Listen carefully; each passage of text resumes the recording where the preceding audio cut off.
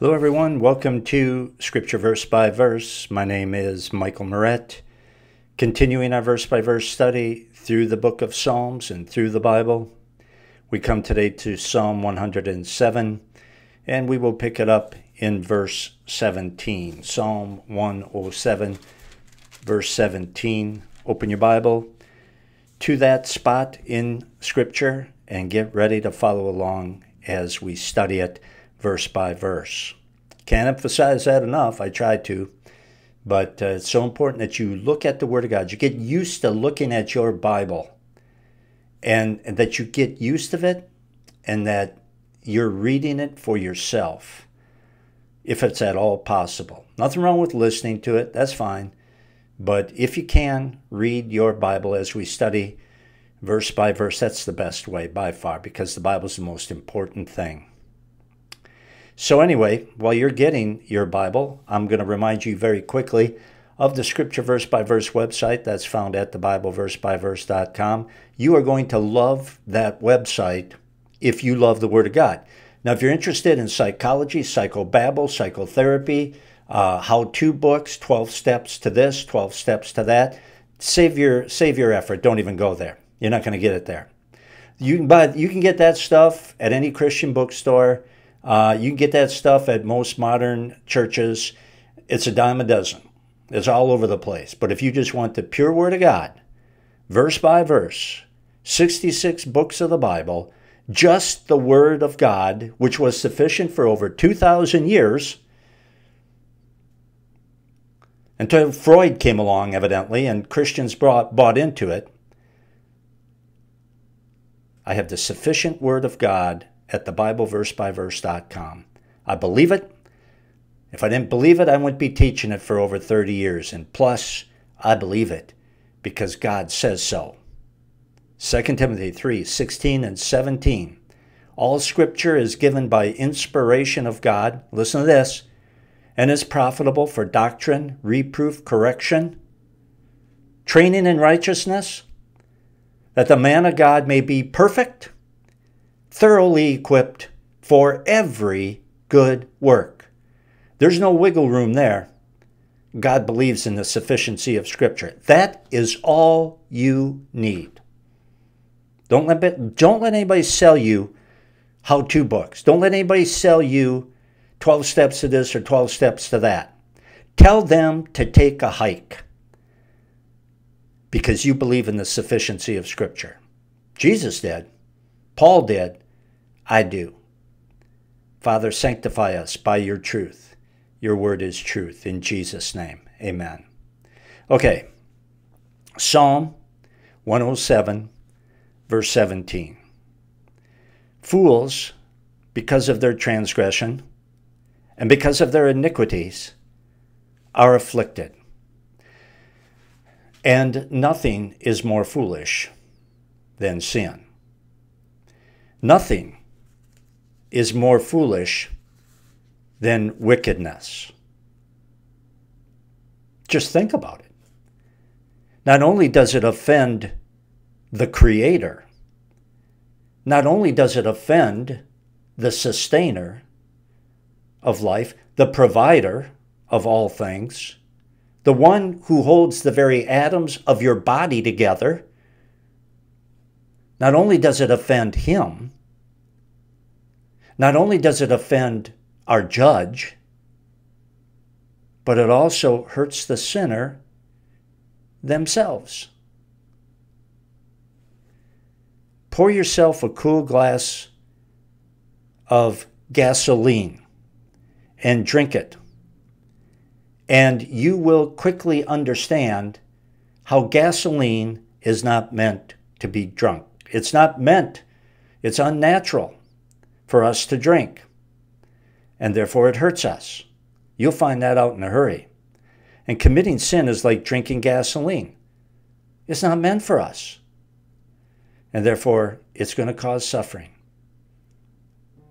17 and 18. Fools, because of their transgression and because of their iniquities, are afflicted. Their soul abhorreth all manner of food and they draw near unto the gates of death. and the Bible, of course, is correct here, as it always is in every place.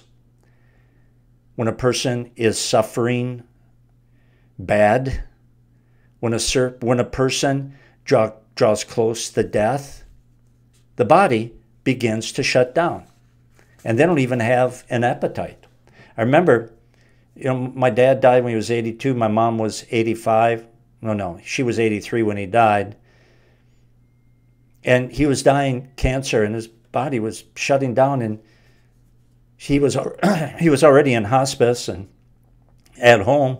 And my mom just kept trying to give him his favorite food. His favorite food was usually mashed potatoes and gravy. He loved mashed potatoes and gravy. And he did eat some of that, but other than that, he didn't eat nothing. He didn't, he didn't want to eat anything. And my mom felt so bad because she couldn't get him to eat. She just thought that she could maybe make him a little healthy and prolong his life, but his body was shutting down. He just didn't want it anymore. And that's how it is, you know. When we live a wicked life, when we sin, we sin. Our, our spirits and our soul and our body, they're not healthy and we lose our appetite when we start suffering the trials that are caused by sin. So notice verse 19. Then they cry unto the Lord in their trouble, and he saveth them out of their distresses. When you are so low that you can't go any lower, when you are lower than a snake's belly in a gravel pit, you can't possibly get any lower than what you are. That's when you need to cry out to God when you have no answers and you know you've been stupid, you know you've been foolish, that's when you need to cry out to God with humility. And as he was talking about in the previous verse, when sickness or worry or some other cause or consequence of sin begins to take away our appetite for even food, even our favorite food, that is our cue to have an appetite for prayer. And God does not despise the prayers of one who is in deep distress. The important thing is that we pray. 20. He sent his word and healed them and delivered them from their destructions. Remember the centurion who came to Jesus and said, Lord, I do not deserve to have you come under my roof, but just say the word and my servant will be healed. Remember when he said that? That's how powerful God's word is. It is the most powerful thing on earth when it is read, when it is meditated on, when it is spoken, when it is studied, when it is lived, when it is prayed. There is nothing more powerful than God's word. Speak but the word, and my servant will be healed. God's word does not come back to him void. There's power in every letter. 21. Oh, that men would praise the Lord for his goodness and for his wonderful works to the children of men. He's been saying this quite a bit lately.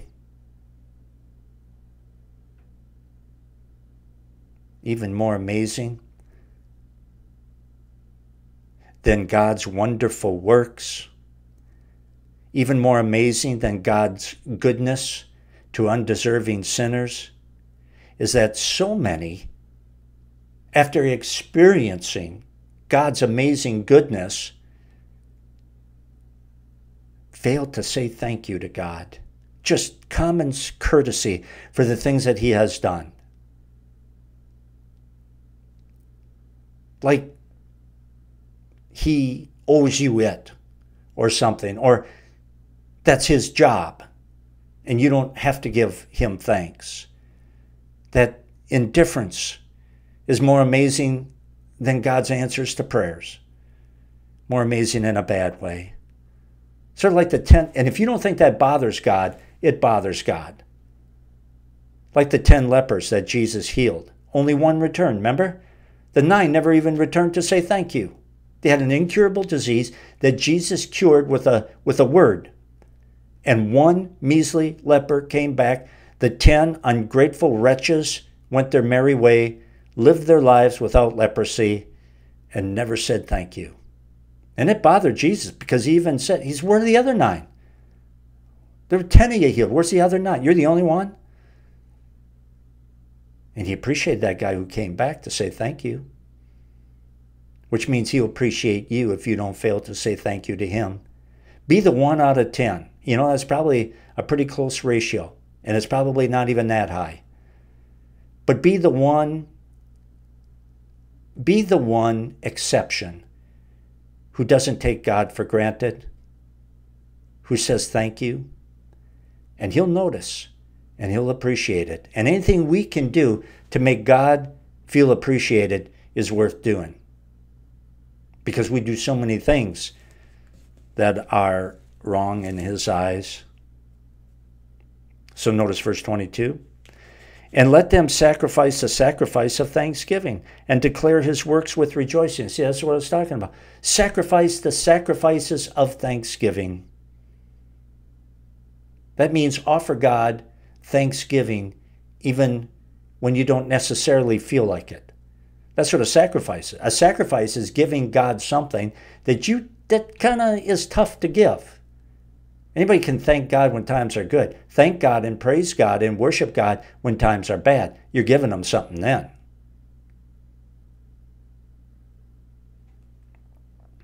And notice verse 22. One more time. Let them sacrifice the sacrifices of thanksgiving and declare his works with rejoicing. It's good to say thank you to God with words. It's also good to say thank you with gifts. And it's also good to say thank you to God with sacrificial works. And thank offerings can come in many forms today. Give God something that you've been hanging on to out of appreciate. Give God something that cost you something. Give God something that goes beyond your comfort level. Give God something that is a sacrifice for you to give. He deserves it. 23. They that go down to the sea in ships, that do business in great waters. Sailors were in view here, and sailors actually were the astronauts of that day. They really were. The seas were unknown, full of mystery and full of legend, all sorts of fanciful tales. And so they were unknown. So those who sailed the seas were heroes. You know, they were the Charles Lindbergh, they were the John Glenn, they were the Alan Shepards, they were the Neil Armstrong, the Apollo 11s of their day. But even those heroes felt small on the oceans because that's where they saw just how big God is. Boy, those oceans are huge and those waves are humongous. And God made them and God controls them, that tells you a little bit something about the size of God, doesn't it? Verse 24. It says, These see the works of the Lord and his wonders in the deep. Yeah, one thing you can see in the middle of nowhere is a lot of stars. The sailors navigated the seas by the stars. And they knew there was no doubt about it in their mind. They knew there was, they knew there was a God up there who gave them the stars so that they wouldn't get lost. There was a God of order who put everything into place so that they wouldn't get lost, so that they could navigate where they were going by the stars. They saw the works of the Lord in the middle of the ocean. You didn't even have to get out that far. 25. For he commandeth and raiseth the stormy wind which lifted up the waves thereof. Still talking about those guys out on the sea and some of their experiences. I wonder how many billions of prayers have been prayed by sailors in the midst of stormy seas.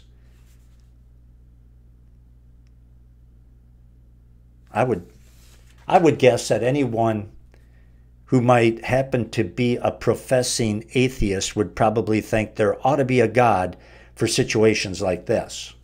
And they'd probably pray to him. 26. They mount up to the heavens, they go down again to the depths, their soul is melted because of the trouble. You'd have to be insane not to be afraid of waves that are larger than your ship. You'd have to be insane not to pray when you see those waves coming your way. People in situations like that know in their heart. They don't have to be instructed. They they they know in their heart that there is a big God who can help them. And that's why they pray. Do you see how instinctive it is for us to believe in a God? Do you see how hard it is for people to become atheists? If they truly are atheists, they have worked against the testimony of the Holy Spirit. They have worked against the testimony of creation. They have worked against the built in knowledge that we have when we were born that there is a God out there. You got to work hard. You got to really love your sin and fear God's wrath to talk yourself into believing that there's no God out there. And yet, so many of those professing atheists will pray in tough situations. 27. They reel to and fro and stagger like a drunken man and are, and are at their wits' end. Then they cry out to the Lord in their trouble, and he bringeth them out of their distresses. And talk about God's grace, huh? People can be too stressed out to talk. People can be so stressed out that they can't even think. And yet God gives them the grace to be able to pray. And maybe it's not a fancy prayer. Maybe it's not eloquent. Maybe it's just one screaming word, but he hears it because those are fervent prayers. Verse 29 He maketh the storm a calm, so that the waves thereof are still. No, you know that no one but God can do that, right? Because that's what it's saying here. God makes the storms to calm, the waves are still. Nobody, nobody but God can storm, uh, calm stormy seas.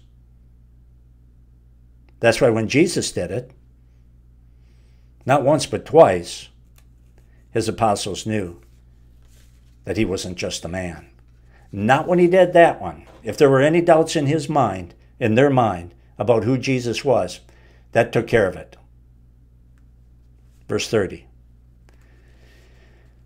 Then are they glad because they are quiet.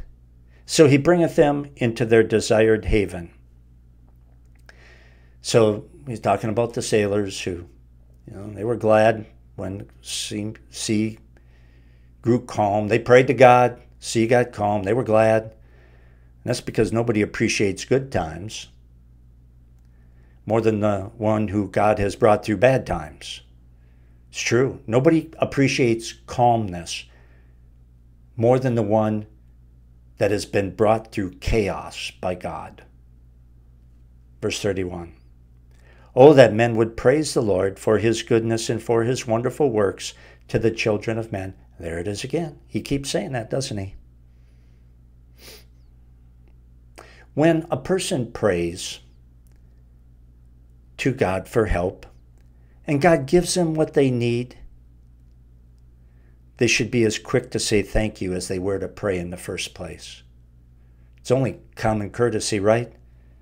People are people are courteous, courteous to, to other people oftentimes, but they're so rude to God. They don't treat him with the same common courtesy. Verse 32 Let them exalt him also in the congregation of the people, and praise him in the assembly of the elders. In other words, give thanks before people. That's important to God. That we give thanks to Him in front of people. It is a duty. But you know, it's also a privilege to tell others about God's goodness after He brings us through a tough situation. It is unthinkable. If somebody rescues you from a tough situation, it would be unthinkable to take the credit for that yourself or to ignore what somebody has done. I mean, you want to tell people, you know, what that fella did for you, how he brought you through. And that's that's how we should treat God too. When he brings you through a tough situation, don't be ashamed to tell others. that it was God who got you through? Yeah, it's a duty, and it should be a duty, but it's also a privilege to talk about God. God has chosen you to talk about Him. That is an honor. And a grateful person will consider it to be an honor to speak of God's kindness and God's faithfulness. 33. He turneth rivers into a wilderness, and the water springs into dry ground. When the Lord wants to get sinful man's attention, he can take away those things that they take for granted. Or have you noticed that? When God wants to get our attention, He has a good way of doing that. Just take away something that you've taken for granted. Things like maybe fresh water, or maybe the ability to enjoy basic things. God knows how to get our attention. 33 and 34 He turned rivers into the wilderness and water springs into dry ground, a fruitful land into barrenness for the wickedness of those who dwell therein. You know, when you look for the root cause of sorrow, you will find sin. Every single time. It will either be our sin, it will either be our personal sin, or someone else's sin, or the sin principle that has entered the world with Adam's transgression and the fall of man. But at the root of every single cause of sorrow, you will find sin. 35. He turneth the wilderness into a pool of water, and dry ground into water springs. And there he maketh the hungry to dwell, that they may prepare a city for habitation. What God removes in judgment, he can restore without any problem when he is finished disciplining his people. The Bible says that God makes up for the years that the locusts have eaten. Locusts were sometimes a sign of God's judgment in the Old Testament. And you know, God promised the Israelites that if you just repent, I'll make up for the years that the locusts have eaten. Verse 37 And sow the fields and plant vineyards, which may yield fruits with increase. When God blesses man's work with productivity, when God blesses man's work with a paycheck, man is more willing to work, right? Only makes sense. A paycheck or a fruitful harvest is God's reward for a day's work. God does not expect people to work for nothing. That's what communists preaches. You work hard, and you give away everything that you have. That's not even biblical. That's why it's such a miserable failure, no matter where it's tried. Communism is a horrible failure. Verse 38 He blesseth them also, so that they are multiplied greatly, and permitteth not their cattle to decrease. God's blessings make people. God's blessings makes people as well as making as well as making people happy. And what I mean by that is that he his blessings make people period increased numerically as well as blessing people in general. It is God who, who makes a couple fertile. It is God who allows people to have children. Verse 39. Again, they were diminished and brought low through oppression, affliction, and sorrow. He poureth contempt upon the princes and causeth them to wander in the wilderness where there is no way. Israel's good times and bad times were a direct result of their moral character. If they were not living for God, they had terrible they had terrible crops, They had locust invasions, they had drought, they had floods. Everything was ruined. They were defeated by their enemies. When they were holy, when they had good character, when they were walking with the Lord, it was the exact opposite. Everything went great. That's how it was with the nation Israel because God was Israel's king. He was their ruler of that nation in Old Testament days. And their circumstances always eventually caught up to their level of goodness or ungodliness. It was just a matter of time. And, you know, the principle is the same today. The Bible says, the Bible says, God is not mocked. Be not deceived. God is not mocked. Whatsoever a man sows, that shall he also reap. If you sow to the Spirit, you'll reap life. If you sow to the flesh, you'll reap destruction. Totally up to us what kind of life you want. Verse 41 Yet setteth he the poor on high from affliction, and maketh their families like a rock.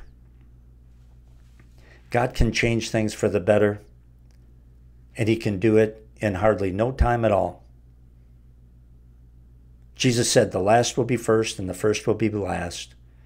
Jesus said, He blessed are blessed are they who weep now, for they will laugh. Verse 42 The righteous shall see it and rejoice, and all iniquity shall stop their mouth. There comes a point when the mouths of the wicked will have nothing to say. They can talk smart, laugh about God, laugh about the Word of God. They just are so sophisticated. They sit there, you know, on television and they cross their legs and they drink their expensive $8 cup of coffee oh, you know, they're so smug and they're so sophisticated and they talk down about people who believe in God and Christians and biblical principles. I'm thinking of one famous atheist that you all would know if I named him. He has just, you know, reached the pinnacle of the business world and so sophisticated. Oh, yes, so sophisticated. But there comes a point where that man's mouth will be shut and he will have nothing to say because eventually every argument against God and His holy word will fail. And at that point, those people should repent. But often they do not. You know why? It's because by that point their hearts are so hard that instead of repenting, their pride is so strong that even though they have nothing to say, against God, they'll just climb up and not say anything. They'll never admit that they're wrong. Man, they're so far gone, they might as well die and go to hell right away. Verse 43 Whoso is wise and will observe these things, even they shall understand the loving kindness of the Lord. It is wise to think about God. It is wise to consider to the, the goodness of God. God has given us, mankind, an immortal soul and the ability to think and understand, something that the animals do not have. The animals have instinct, but we have the ability to reason and think and understand, so we should use it.